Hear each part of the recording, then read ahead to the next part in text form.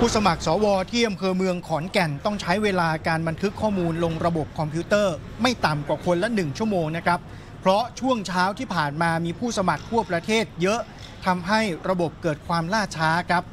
ที่สำคัญผู้สมัครจะต้องกลั่นกรองข้อมูลแนะนำตัวนะครับ เพราะหลังจากยื่นใบสมัครแล้ว จะเป็นเอกสารสำคัญที่ใช้แนะนำตัวในการเลือกทุกระดับ เพราะจุดนี้ไม่สามารถแก้ไขได้ครับ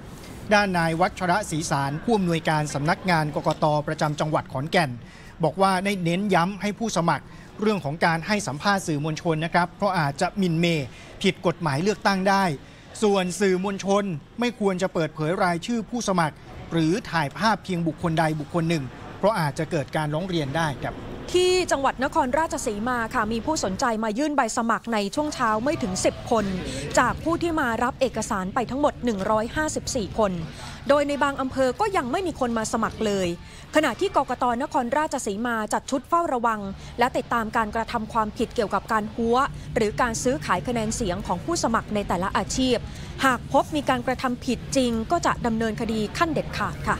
ส่วนบรรยากาศที่จังหวัดอุบลราชธานีครับการสมัครสวในเขตอำเภอเมืองเงียบเหงานะครับผู้สมัครในช่วงเช้ามีไม่กี่คน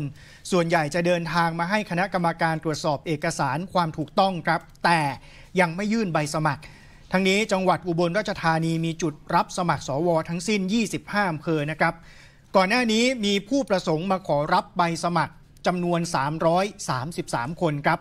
ส่วนบรรยากาศการรับสมัครวันแรกก็เป็นไปด้วยความเรียบร้อยนะครับ แต่ว่าบางอำเภอ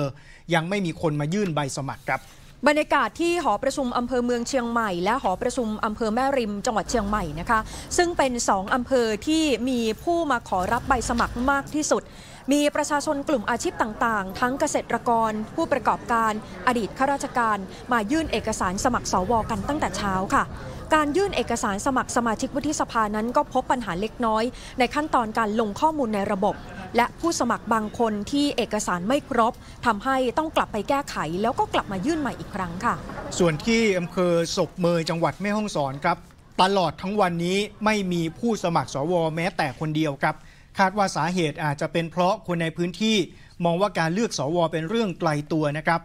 ก่อนหน้านี้มีผู้ขอใบสมัครไปเพียง 5 คนเท่านั้นครับ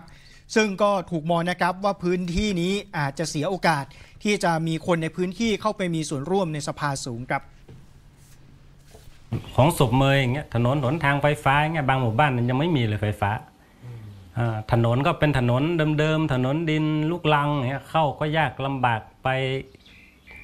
ไปโรงพยาบาลโรงพยาบาลหรือว่าไม่สบายอย่างเงี้ยนะมาโรงพยาบาลอย่างเงี้ยนะโอ้ยากมากฤดูฝนเนี่ยไม่ต้องถามหาเลยครับ ต้องใช้คนหามกันอะไรมาเนี่ย ส่วนที่นครสวรรค์พิษณุโลก และกำแพงเพชร มีผู้สมัครสวทยอยมายื่นใบสมัครนะครับ ส่วนใหญ่เป็นกลุ่มเกษตรกร แล้วก็อดีตข้าราชการครับ